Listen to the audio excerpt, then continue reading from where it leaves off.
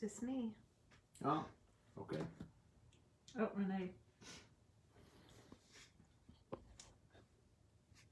Hi, Renee.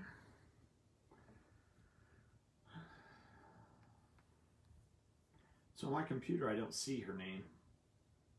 Let's see yours. So far, I just there's four people on, but I just see Oh. Renee and I. All right. It is 7 o'clock.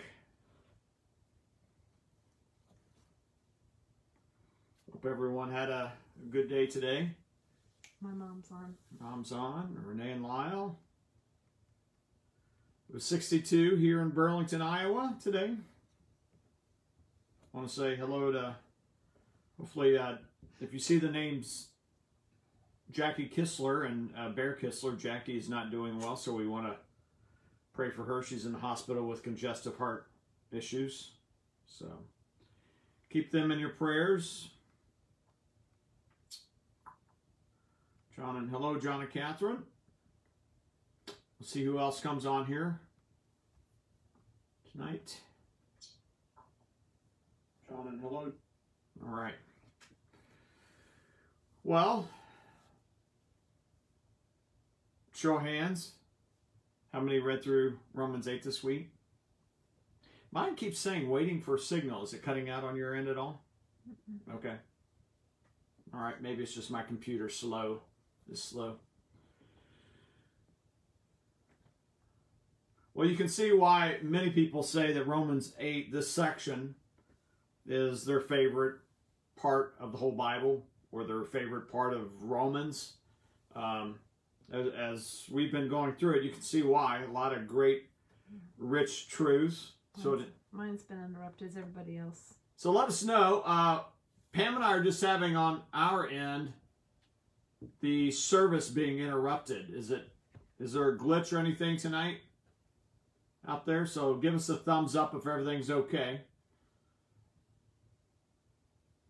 I haven't seen any internet problems lately, have you? Mm-mm. Since we got a new router, they fixed a couple cables. Uh, we got a new router. Ours was ancient, so Nobody's giving a thumbs up, which is worrisome. Yeah, just did it again, didn't it? Mm-hmm. All right, everybody that's on tonight, can you give us a thumbs up if your computer's okay? Or have you had? Let us know if there's been any glitches. Said Catherine said it cut out here a couple of times, Okay, a little bit, but everything just cleared up. Renee. okay. Good deal. Okay. All right, well, shall we? Uh, Judy Hausner's on now. Judy Hausner's on. Mm-hmm. All right, hi Judy and Bill. See who else comes on here. Thumbs up, I'm seeing. Mm-hmm. Seems better on mine too. Judy says, Oh, uh, now it just interrupted, but it came back.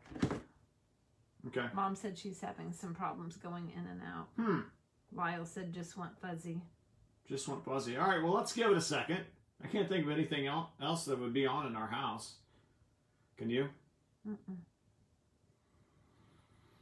And we, you haven't. you've been on the computer probably all day, haven't you? Mhm. And no problems? No problems. I've been on the run all day. Church. Met with some other pastors. We're working on a Christmas float. Uh, just different things. So Lyle said cleared. I haven't been on the computer at all, which is Jackie. Hello, Jackie. I send me your number, Jackie. I tried to call Bear today, and I do not have your number. I was calling to see how you were doing, so that's good to see you on and know that you're on our prayer list as well. Thanks a lot. I'm kind of jerky when I move. Maybe tell everybody again about Jackie so they can pray for her. Yeah, just pray for Jackie Kistler, who's on here uh, every week. Um, they live in Council Bluffs, and uh, we got a prayer request that she uh, was having con- uh, congestive heart issues. Jackie, if that's uh, sorry to hear that, we'll definitely keep you in, in our prayers. And um, yeah, please let us know. Uh, Pam, do you have her number in your phone? I know when you guys move, you change phones. And um, Yeah, anyway, well, after this, we'll try and get back in touch with you. but glad to see you on tonight. That's that's a good good thing. So let's begin in prayer, and we will jump back into Romans eight. Let's pray together. Heavenly Father, once again, we thank you for your word, how precious it is to us, how just this passage is so amazingly uh, deep, uh, but yet anyone that's on tonight can grasp these amazing truths. We'll never be able to plummet the depths of what's being taught here. Uh, we look forward throughout eternity learning more about uh, your grace and mercy in our lives. But uh, help us again tonight as we finish out this chapter to to really see how great our salvation really is, all that you've accomplished to bring us to yourself. It's in Jesus' name we pray. Amen. Well, Paul has no doubt let us know that we do have sufferings in this world. And uh, we long for that day, according to chapter 8, to where we have a final redemption of our body. That's verse 23. Uh, but until then, we're going to groan. The whole creation groans, and we ourselves groan. And yet we look forward to that day when creation itself will be set free. And we will get our final down payment, if you will, our final completion, our final stage in salvation, which is a glorified, resurrected body. That's where we're headed. So, in this world right now, uh, we're going to encounter hardships and trials, yet God, as we saw a couple weeks ago, we looked at it again last week, uh, we have confidence that God um, causes all things to work together uh, for good. This is verse 28 to those who love God, to those who are called according to his purpose. So if you're a believer, God has called you to himself. At one time you were spiritually dead, alienated, enemies of God. Um, we saw in chapter 8, those who do not have the Spirit, they cannot please God. Uh, that's chapter 8, verse 8. We were in that state. We were just in the flesh at one time no thoughts of God. Like uh, Romans 3 talks about. Uh, there's none who do good, not even one. There's none righteous. There's not even one. Um, everyone needs to be reconciled. And uh, we're seeing in chapter 8, now that we are believers by God's foreknowledge, His covenant love, His predestination, His justification, we saw last week that He's it's as good as done. We are going to be glorified. So let's take a look at verse 29 and 4. So verse 28 and then verse 29, 4, and this is just giving more proof that God is for us. Right? God is working in our lives. And we said we can see many beautiful things that have happened in our lives. We can recognize the beauty in nature and friendships and family and a new birth of a baby. But yet there's a lot of hardships and even things that we can't explain what God is doing. Sometimes years down the road we can look back, but ultimately we have to trust God in what He's doing, what He's working out, because He's conforming us into what? The image of His The image of His Son. For those whom He foreknew, He also predestined to become conformed to the image of His Son, so that He, Jesus, would be preeminent among his brethren. That word firstborn in the Old Testament, I could do a whole sermon on that, is the idea of preeminence. Firstborn had all these rights. In, in the Old Testament, it comes to have the idea of preeminence. And uh, so here, God is working in our lives so that Jesus, and conforming us to the image of Jesus, so that he would have preeminence among all the redeemed. Then he gets into what we called last week the golden chain of redemption. And I, like I said, I've had this chain for a long time. Uh, each link representing what we see here those whom he foreknew, those he pre- uh, predestined, right, etc. So you have foreknowledge, predestination, calling, that internal calling by God's Spirit calling us to salvation, this this drawing, this opening up our eyes, this uh, word of God being spoken that actually brings about what it is intended to do. So those who he called, he what? Justified. Justified. We've seen that theme throughout Romans. We've talked a lot about that. And those whom he justified, he also, same tense as these others, glorified. Yet according to chapter 8, verse 23, it hasn't happened yet. Pam does not have a uh, glorified body. She her back aches, she says today. My back aches today. How many of you online could could complain about how your body is breaking down? Somebody just recently told me, now I've got floaters in my eyes. This is great. This this old age is for the birds. You know, my my shoulders out, my back's giving out, and uh, our bodies are what? Wearing down. They're gro- groaning. We are eagerly awaiting the redemption of our bodies. And yet, according to verse 30, it's as good as done. Those whom he justified, he glorified. Even though it's not, it, it's past tense. Why is it that way? Because it's as good as done. Now, I hope this brings you a lot of comfort in reading this section. It that's what it should do. If, if God is doing all of these things, what should be our response? Praise. Praise, gratitude, thanksgiving, joy. And it doesn't mean that all all the time, maybe tonight you've had just a, a rough day, a terrible day, and you're like, you know, Kendall, I just I got a stinky attitude tonight. I know I should be more happy about these things. We all we've all been there and understand that, right? But deep down, so we're not talking about we have to put on a smile, just act like everything's okay. But deep down inside, we know that God is working. He's got me. He's gonna He's gonna continue. He's gonna bring me home. That's encouraging. And uh, now, this is what I want to get to this week. So we we went all through all that last week. What shall we say to these things? How often do you contemplate or slow down and meditate on things? Not enough. Not enough. Just slowing down. Uh, I don't have them written down, but many times the psalmist will, will say, I, I was meditating on my bed, right? I'm meditating on your word as I go to bed at night.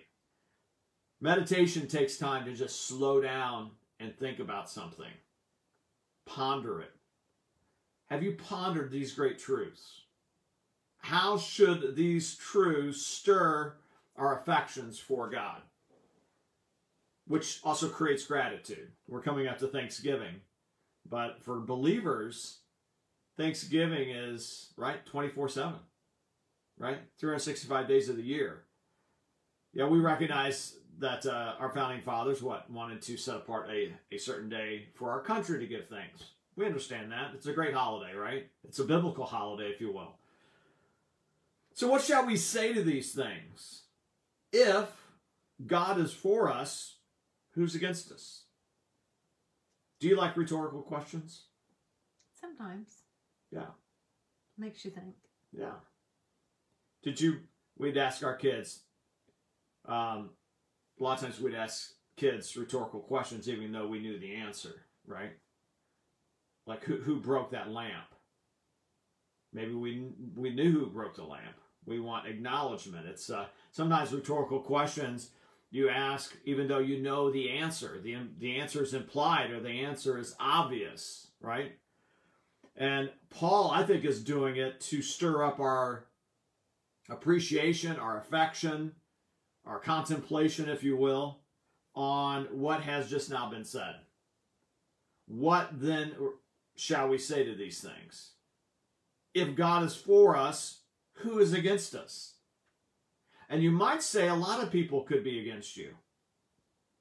Right? You could have enemies. As we're going to see, it just because it says if God is for us, who's against us, ultimately they can't be against you. Ultimately, they can't separate you from the love of God, as we're going to see. So, definitely the writer and the whole Bible understands that you could have a government against you, right?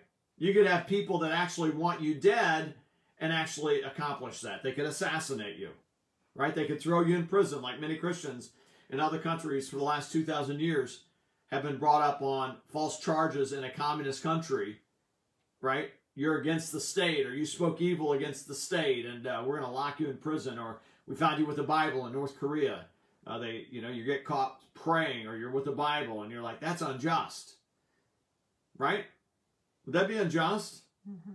so what does it mean that if god is for us who's against us if god is for us don't be thinking you're going to live in a bubble and you're just going to be protected and everything's going to be okay is that how you read it No. Uh, well, I mean, I have learned through the years that that's not what it means. Right. In an ultimate sense, can anybody separate you from what God has predestined for to occur for you? Will you be glorified one day? Mm-hmm. Is he doing is did God foreknow, set his covenant love upon you, predestinate you, call you savingly to himself? Did he justify you? Then he is going to glorify you. Can anybody break that chain? If you will? Can anybody break that bond? Can anybody break the love that God has set upon you to bring you fully to Himself? And the answer is no. That's not going to happen. now, when we experience tough things, should we be reminding ourselves of these truths? And the answer is, of course. He who did not spare his own son. What does that bring out up any thoughts, that phrase? He gave his most precious gift. Who did spare their own son in the Bible? Well, Isaac was spared. Isaac. Do you think this could be hinting at he who did not spare his own son? God spared Abraham's son by providing a sacrifice. The Lord, if you remember, Abraham said the Lord will provide. Isaac says, "Dad, you know where, where's where's the, where's the sacrifice? Lord, Lord's going to provide." And he provided. So Abraham's son was spared. But here it says, he did not spare his own son. He who did not spare his own son delivered him over. Think about this language that's being used. Think about Christmas. We're getting ready to celebrate the first Advent. The Messiah coming into the world, right? To do what? Be on a saving mission. Uh, Paul in 1 Timothy 1 15 and 16 says, says something like this Christ Jesus came into the world to save sinners. He, so here, God the Father hands him over, de- delivered him over for us all. He who did not spare his own son. The question is, could he have spared him? So if he didn't spare him, but actually delivered him over for us all, then what should be your response to that? That's what Paul's saying here. He who did not spare his own son, but delivered him over for us all, how will he not also with him freely give us all things? What is coming to you in the future?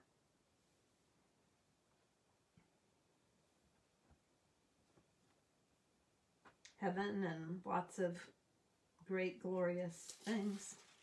Right. Perfect earth and Uh, righteousness abounding. And Yeah. We inherit the world according to chapter uh, 4. Right?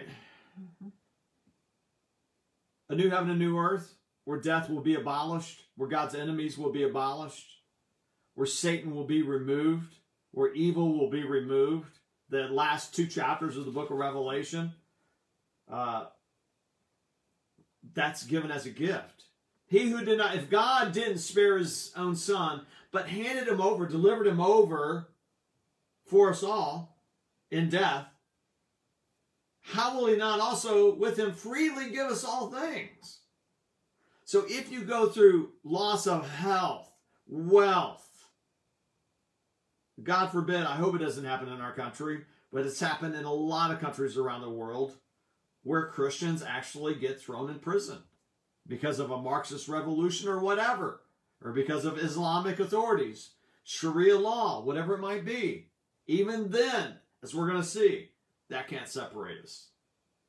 But when you're going through hard times, so many people judge their circumstances and judge that whether God loves them. Would you agree with that, Pam? hmm When do we start to doubt God's love? In the hard times. So, up, I saw this jerky again. I'll try and stay real still. I think several people are having trouble, but Uh, I keep getting dropped, losing conne- uh, connection. I don't think it's going to be on your all's end. I really don't. If a lot of people are having, well, Catherine and my mom both say it's in and out and locking up at times. yeah, we've really not had that problem. So we'll try and be really steady. And I don't think it's anything that I'm doing. So I think it must be, uh, we'll have to call because we really haven't had this problem in quite a while since we've got a new router. But let's go back to that. If something great happens to you, something bad happens, don't judge those things. Those those are subjective. We we don't have a reading on that.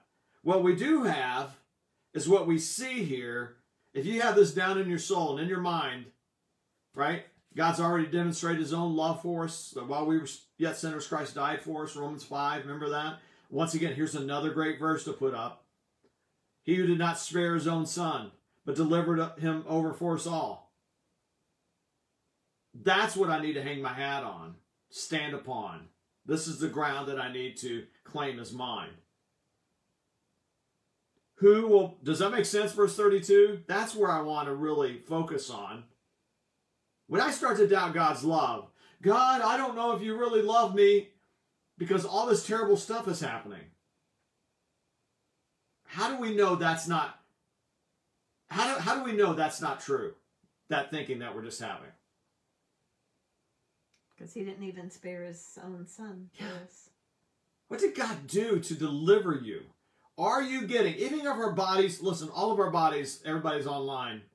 If, if Lord Jesus doesn't come back um, in our lifetime, what's going to happen? All of our bodies are going to break down. Right? I could get cancer this year. Who knows? Get hit by a car. Right? Who knows? Train. Whatever. Aneurysm, stroke, heart attack. There's a thousand different things. I don't look at those things and say, I don't think God loves me. Folks, let's just admit it tonight, everybody that's on here. Isn't that a temptation to all of us? And yet we, we know we live in a fallen world. We know that the creation itself groans.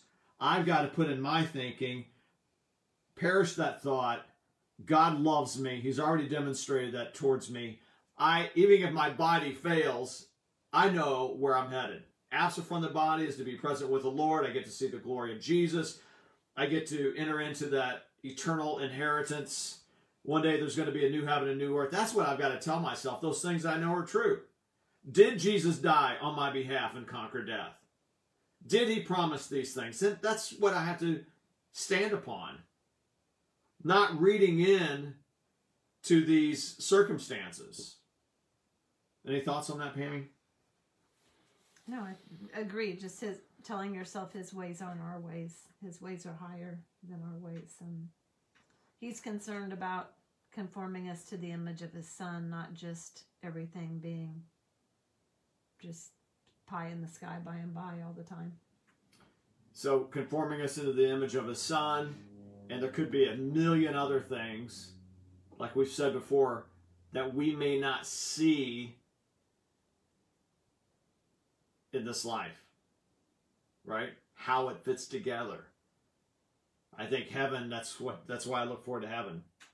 Um, so you have to continue to preach yourself these these truths. Now, who will bring a charge against God's elect? By the way, let's, get, let's go back up to verse thirty-two. How will He not also with Him freely give us all things? It's like that some of you don't throw stones at me. God is liberal in his bountiful love and giving things to us. Oh yeah, he's just very liberal. He just hands stuff out, all handing stuff out. He's freely giving us, it says, all things. What you have, if some, if people really knew the future that you're going to inherit, what are you going to inherit? all of these things that the Bible speaks about. It's been given to you as a gift by His grace. So he's called you to himself. He's delivered his son over for you. This is so is God a, a fatherly, loving, compassionate God who has done everything to bring us to himself. Then I've got to trust him through the hardships. And I think that's what Paul in this context, because if you remember, we started picking up sufferings in verse 18. I consider the sufferings of this present time are not worthy to be compared with the glory that will be revealed to us. That starts this whole section. Who's going to bring a charge against God's elect and make it stick? So you're in a communist country. You're in a country that brings up false charges. False charges were brought up uh, with Paul, right? Thousands of other Christians throughout history, actually millions. Um, your family turns against you, your your business turns against you, whatever it might be. Ultimately, if you're God's child, if you are the it says here the elect, which is he's just been talking about, that what a comfort. Who will bring a charge against God's elect? Here's Paul's answer God is the one who justifies. Do you remember that justification is a courtroom term? God gives the verdict. Not guilty. My guilty. You're guilty. And we've already seen we're guilty before God, right? All of us are. All of us have sinned and fall short of the glory of God. Chapter 3, verse 23. What does God do? He exchanges the perfect righteousness of Christ. Christ bears my sin. This is this is 2 Corinthians 5:21 if you want to check it out. I get the life of Christ applied to my account. God declares me what? Not guilty, and I stand here with the righteousness of Christ. If God has done that, so who will bring a, charge against God's elect? No one. Why? Because God's the one who justifies. What a great comfort. Who is the one who condemns? Well, if you just connect the previous verse, you ought to you already you should know the answer. The implied answer is what? God. Well, who's the one who condemns? the implied answer is Oh. no one. Why? So you're asking why? Christ Jesus is he who died. Yes, rather who was raised, who is at the right hand of God. Why is it? Remember, we start out in chapter one. There is no there no condemnation. This is chapter eight, verse one. Therefore, there is now no condemnation for those who are in Christ Jesus. I'm not going to stand before God condemned. Why? Is it because you've prayed enough? You've given enough? You've witnessed enough? You've read your Bible enough? Absolutely not. You don't look to yourself. If you if you look to yourself, you're condemned. Are you not? Do you have perfect love? Do you have perfect righteousness? The, the answer is no. Have you loved God perfectly? No. Have you loved others perfectly? No. The answer to those things is absolutely not. If it was based on you, you would stand condemned. God hands Christ over to endure my condemnation. I get his righteousness. That is glorious truth. So therefore, he's answering this question. Who's the one who condemns? Implied answer is no one. Why? Christ Jesus is he who died. How can you be condemned if Christ is the one who died on your behalf? Yes. Who was what? Raised. Raised. Is that it? Who's at the right hand of God, who also intercedes for us. So look at everything that he's saying. Who's the one who condemns? Implied answer, no one. Why? Because Christ Jesus is he who died. Yes, rather, was raised. And who's at the right hand of God the Father? That's all over the Bible, right? All, we've been studying Hebrews. How many times does it come up in Hebrews? And he also what? Intercedes. He's going to bring you home. If he's already accomplished all of these things, that verse alone is another memory verse, isn't it? You know how many people, a lot of counseling is because of people with guilty consciences over their past. That maybe their friends can't, you know, friends, family, whatever. Your own conscience, Satan, accuses you. Your own conscience accuses you, and you're like, I know I'm forgiven. I truly trust in Christ. I've repented. I recognize before God. Then, then how come you're not trusting it? Apply. What does? And sometimes I've just said, what do these verses say? Let me ask you, do you believe it? And this is, I don't like hearing this. I just can't what? Believe it. No, I can't forgive myself. Have you ever heard that? myself. How many times have you heard somebody say that? A lot. Is there anything in the Bible about that? No. Except what God, your sin is against God. Except what he has accomplished for you. How many people do you think just just are burdened with a load of guilt? How many how many on here know people who you believe a lot of their problems revolve around a ton of guilt? So I, I think it's I think it's a problem. So applying these truths, really letting it sink in. If you ever start thinking about your your life, have you really as, as you look at your own witness and you look at your own uh, Bible reading and stuff like that, you don't look to yourself. Do you want to improve in your love for others, your love for your spouse, and being a good worker? Of course. Of course. Look at it, though, as a life of gratitude instead of merit. Is there a big difference between merit and, and grace? Absolutely. And if Christ has merited for us, the, the, the automatic response is gratitude. Think about what kind of gratitude should well up in us just because of these verses we've looked at. Now, verse 35 and following. What can then separate us? Nothing. Who will separate us from the love of Christ? No one. And that should be the implied answer. Will tribulation? Waiting for an answer, right? That's what Paul's doing here. Who will separate us from the love? Do you, do you see the interaction that Paul, all the way through this since verse 31, what shall we say to these things? Asking for you to interact with it, contemplate it, think about it, respond. Same way here. Who will separate us from the love of Christ? No one. Will tribulation? No. Will distress? No. Persecution? No. And I can't hear everybody tonight.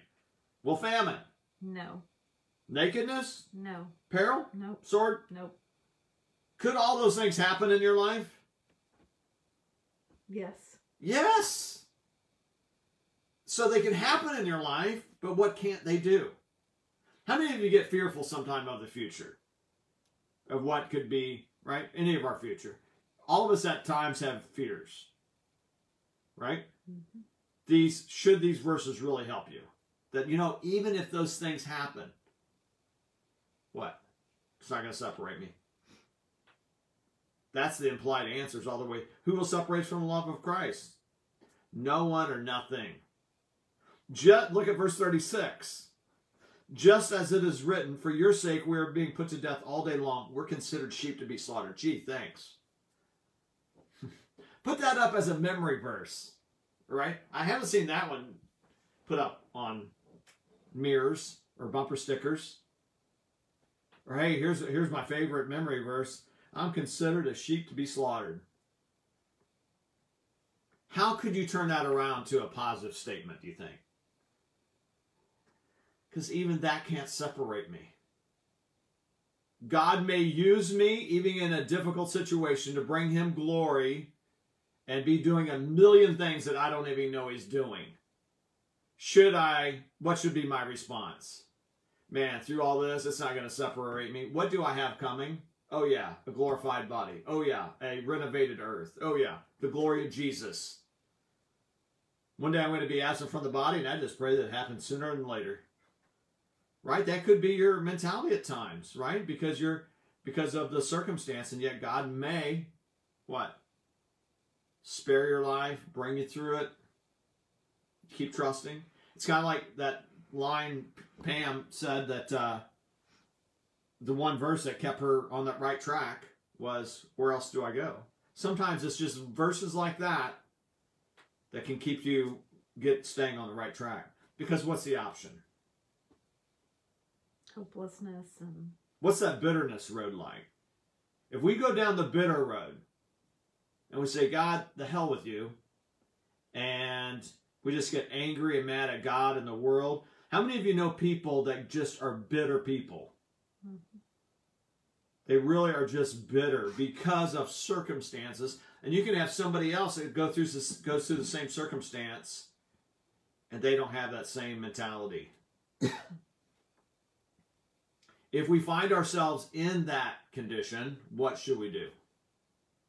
Seek help, get a good good counselor, keep your nose in the Bible, fight to get back on the right path, right? Stay connected, keep seeking God. You fight for joy because if we just throw up our hands and say, I'm just going to keep going down this road of bitterness, God, I will show you. What happens to us? We are miserable day after day. But if we say, God, I don't understand it, I remember you saying this, God, I don't understand it, but I'm going to walk with you, basically, is what, like you said, right? hmm You ever do that? Just say, God, I'm getting on that, doing a U-turn, getting on that better path, even though I don't, I don't know where I'm headed fully, but I'm going to trust you each day. Do you ever pray this, God, give me enough grace for today? Do you see Judy? She said, We are sheep of his hand. Yeah, out of, uh, is that Psalm 100, I know? 23rd Psalm is great. Um, I think it's Psalm 100 that uh, we're the sheep of his pasture. And we're, but Judy, what about the rest of that, Judy? Uh, we're the sheep of his hand to be slaughtered. Yikes.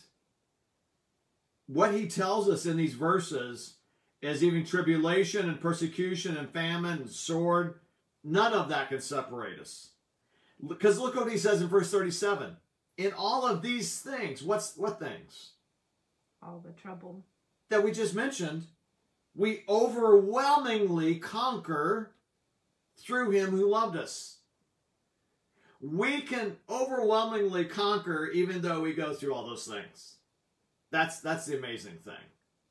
Can you imagine just with that mindset, can anything if we really did believe these verses and really hung on to them, I think it does make a difference. Don't you? And how we look at trials and hardships. Um, we can overwhelmingly conquer through him who loved us. For I'm convinced that neither death, that's ultimate, nor life, nor angels, nor principalities, nor things present, or things to come, nor powers, nor height, nor depth, nor any other created thing. That's including you. Well, what? Ever be able to separate us from the love of God, which is in Christ Jesus our Lord. So go back to what he started with. Who will separate us from the love of Christ? Which I think is what Judy was saying. Anything could happen. We could be slaughtered, but we're still a sheep. Yeah, absolutely. We're still Jesus here. Jesus doesn't lose any sheep, right? Mhm. How many sheep does Jesus lose? None. He said, "I don't lose any that the Father's given me." Right? Mhm. That that should really bring us comfort in the midst of life's most earth-shattering difficulties. I pray that none of us go through those things, but all of us know if we live long enough, we we can go through things that really shake us, right? And we don't look at those things and read into that circumstance, God, you don't love me. What do we stand upon? What his truth says. He's already delivered his son up for me to suffer in my stead to keep me from what? Eternal wrath. I mean, if he's predestined me to be conformed to the image of Jesus, he's justified me, and he's going to glorify me, and Jesus is interceding for me, then nothing can separate us. And then he he lists all these things, these powerful things. Very are there super are, are there angelic dark powers? Do you believe in, a, in a, an evil dark world? I do. But none of these things, death, life, principalities, height, depth, cre- any created thing, is able to separate you from what? The love of God, which is in Christ Jesus our Lord. So Catherine said her one of her favorite verses is Job thirteen fifteen. Though he slay me, yet I will hope in him. Yeah, that's another good one. And and folks, that's what I would say. Read as you read through the Bible and you you see verses like this or Job or Psalm, one of the Psalms, um, because you said a lot of the Psalms were very helpful. All of us are different at what might really grab us, but if you're like that verse is like gold. That's like gold. Write it down, memorize it. We can have faulty thinking, don't you think? We our we can have wrong feelings and wrong judgments and we think we know things like what and we're like those are subjective. My feelings can be wrong. I, I want to stand on what god's word says. Because i see his people who loved him who go through a lot of hardships right? Mm-hmm. job and paul i mean paul I mean, think about all the stuff paul went through. There's a man that i know uh, dick shaw. He's the only human being that i've ever known who went through a lot and yet was a very gracious man at the end of his life. He wanted at his funeral, and it was sung, Great is thy faithfulness. If I told you his story, many of you have heard me tell it, or you've heard Dick Shaw tell it. He's with the Lord now, but lost his parents and a sister at sea. There's a book written about it. They were missionaries, uh, sick in Africa during World War II. As they were coming home, their ship got hit by a German submarine and the ship went down and him and his sister were on a life raft with other people. Small raft, no bigger than our table here. For like 20 some days. Right? Him and his sister were separated later. Uh, a British boat picked him up. And uh, now, Dick will tell you that he did have a, a little rough patch in his life, but the majority of his life he lived a loving faith he had a loving faithful relationship with his lord and savior. And um, so god let's let's pray this tonight. God be glorified in all my circumstances and may i really trust in you no matter what comes. That's a hard prayer to pray sometimes. Lord whatever comes my way i want to i want to have gratitude even when I don't understand what's going on, I want to trust in, in your promises. And hopefully bring it around to a, you know, when things are going well for us, we ought to really be like, really overwhelmed with gratitude, like how great our redemption really is. I wasn't looking for God, and yet God supernaturally drew me to Himself, right? Whether edge at age 8, 24, 68, whatever age it is. And that God is doing these things, justifying us. So, anyway, now, buckle your seatbelts. I saw that. Romans 9. So, can you want to tell them your uh, next week, maybe? We'll get into it. Romans 9 was a tough chapter for Pammy. Mm-hmm. Struggled through it for a couple years, mm-hmm. at least. Maybe you're struggling with some of the things we've we've talked at about, but you know what? Keep reading it and, and come come to the point where you're like, is this what the Bible teaches? And I so if you're if you're on and you wrestle with some of this, just keep praying. And and there can be I can name pastors like R.C. Sproul and Piper who wrestled with him, and now these these truths became their their foundation for their ministries, for their life. So these things can become a rock solid foundation. You mean the truths of chapter nine and chapter eight? and eight. Yeah, I mean because we've already talked about predestination and Mm-hmm. the issue of elect, and we're going to get into it, especially in chapter nine, right? Mm-hmm. So, friends, I hope all of us, uh, as, big takeaway, be in awe of what God has accomplished. Allow that to create gratitude in how you look at life. So that's my prayer. Any other thoughts tonight? I know I oh it's yeah getting late. Sorry about if the computer was uh Yeah, I think some people struggled. I think my mom might have gotten off. no, I'm sorry. So we we will contact our uh, internet service and make sure everything's okay. Let's pray. Father, thank you. Thank you for your amazing love for us. That nothing can separate us from your love. You've done everything to bring us all the way home. So we just pray for ourselves and for others tonight that uh, whatever difficulty and hardship we go through, we're that we're so overwhelmed at what you've accomplished and are going to accomplish that we our hearts are warm with affection, worship, thankfulness for what you're doing. In Christ's name we pray. Amen. All right. Thank you guys. We'll see you next week.